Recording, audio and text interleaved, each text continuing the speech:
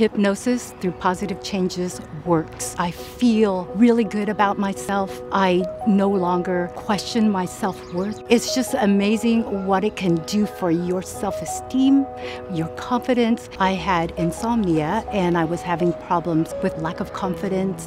I was actually watching TV and I noticed my coworker in one of the commercials. I had a talk with her about it and she inspired me to contact the next day. Positive changes gave me the lasting change that I wanted. I am so much happier. My relationship with my family was good before, but now our bond is stronger. I think that our relationship has blossomed and it's just great. I really love life. I walk around being happy all the time and I'm enthusiastic.